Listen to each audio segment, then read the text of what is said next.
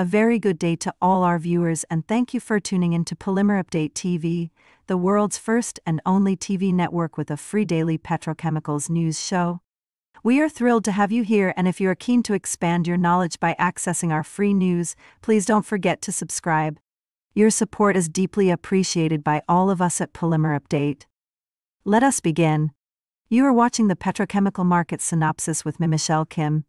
It is Tuesday, May 9th. Let's start with energy news.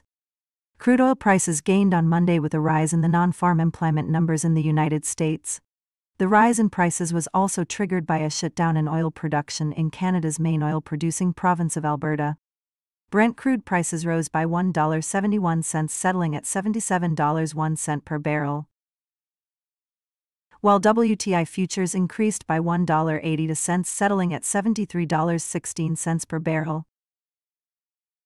On Monday, open spec naphtha prices rose sharply by $23 per metric ton at the $610 per metric ton CFR Far East Asia levels. Are you looking to enhance your knowledge of polymer materials and their use in the automotive industry? Look no further. Polymer Update Academy and MIT Aurangabad have partnered to bring you a joint certification program featuring a masterclass workshop on polymers in automotive applications led by Professor Prashant Gupta, a distinguished polymer technologist.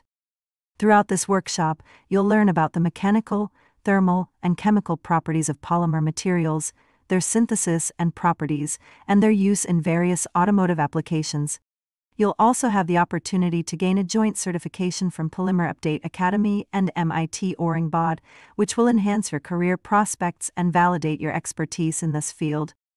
Don't miss this chance to expand your knowledge and earn a valuable certification. For additional information, please check the details in the description box.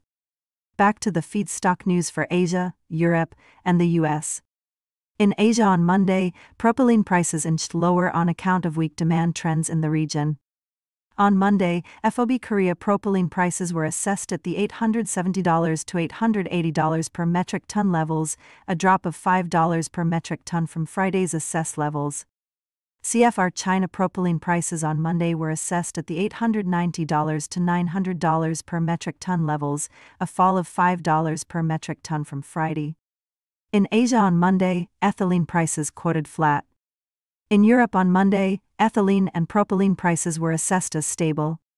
In the United States on Monday, ethylene prices edged higher while polymer grade propylene prices rose and refinery grade propylene prices remained stable.